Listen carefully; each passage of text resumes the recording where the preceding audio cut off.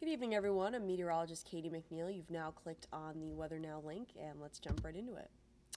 Taking a look outside right now, it was a very mild day today with highs in the upper 50s, so well above average for this time of year. We had some lower visibility earlier this morning, but looking nice and clear out there right now after sunset. And the only kind of change that we're tracking here is the chance for some passing showers overnight tonight, but we'll still be dry throughout the entirety of the daytime hours uh, on Monday. So Sunday looking good and all of Monday until the overnight looking good.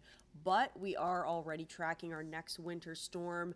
Uh, as of a couple of hours ago, winter storm watch was issued for parts of Rhode Island and southeastern Massachusetts, Connecticut, and central uh, Massachusetts as well, due to the increased confidence that we have that we will be seeing a more impactful winter storm starting Monday night and throughout the day on Tuesday. Still are uncertain about the exact snowfall totals from this storm, so stay tuned with us in the next couple days as we'll kind of fine tune and solidify some of those details here but a winter storm watch is now in effect ahead of this system that we're tracking for Tuesday.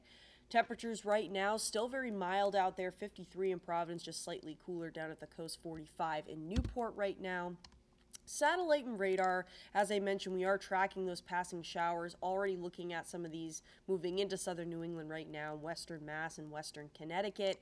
And we'll be seeing the chance for these passing showers lingering on through around midnight before conditions start to dry out again as we head towards the start of your Sunday morning. And let's take a look at kind of more of the short term here. So overnight tonight, increasing clouds. We'll kind of see those mostly cloudy conditions with the chance for those passing showers. But as we head towards the overnight and start of your day on Sunday, clouds will start to break up, so kind of more mostly cloudy conditions at the beginning of the day, but still a mild start for this time if you're already in the 40s at 8 o'clock. And we'll warm up again, not as warm, especially with kind of those um, increased clouds covers to start the day, but we'll still see highs in the upper 40s or right around 50. So another mild day on tap with more sunshine expected as we head towards the end of the day, but then uh, a little bit of a colder overnight Sunday into Monday with those temperatures dropping down into the low 30s as we head towards 11 o'clock. So your forecast for tonight, we're looking at those overnight lows around 40 with those uh, that chance for passing showers will be mostly cloudy and cool otherwise.